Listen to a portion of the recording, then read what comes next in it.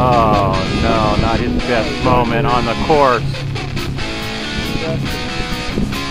Look at the look of this guy.